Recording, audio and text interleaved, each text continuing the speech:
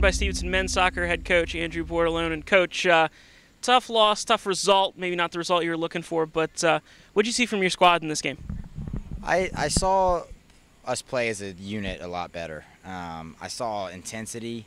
Um, I saw determination. I, you know, and I, I think that there was more positives than negatives in this game.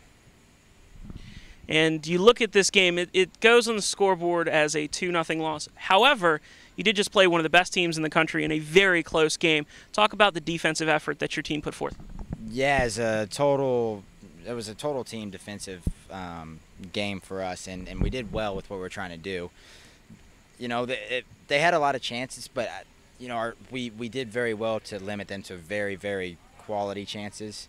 Um, you know, and then at the end of the game, you know, it was one nothing, and we had a chance to score, and we put one over the bar. So, you know, it, our game plan, it, it, it, we feel like it almost worked. Um, we weren't going to get a lot of chances. We didn't finish the, you know, the one pretty good one we had, but, you know, they had a lot of shots um, and a lot of chances to score, but, you know, at the end of the day, we made them to score two good goals.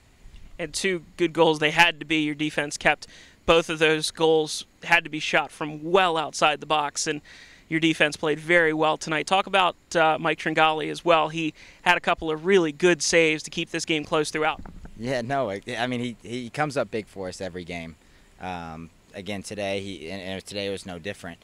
I thought he was vocal today. He did a good job of leading his back line as well as making those saves.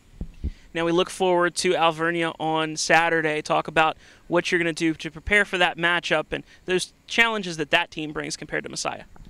Uh, two different teams. Um, you know, I first thing I'm going to do is go watch more film on. I've only seen a little bit of some live video um, when they were playing at a different time than we were.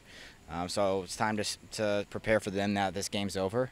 Um, but what I have seen is that they got a organized and very hardworking team. Goalkeeper that does very very well and a guy up top that's capable of scoring goals. So it's gonna it's gonna prove trouble for anybody. Um, I don't know how they did tonight, but I'd assume that they did pretty well tonight again because they're they're on a roll. Um, so it's important for us to stop that momentum because with three games left, we've you know we've got to get some results. Well, three games left, and uh, good luck on Saturday, Coach. Good luck the rest of the season. Thank you.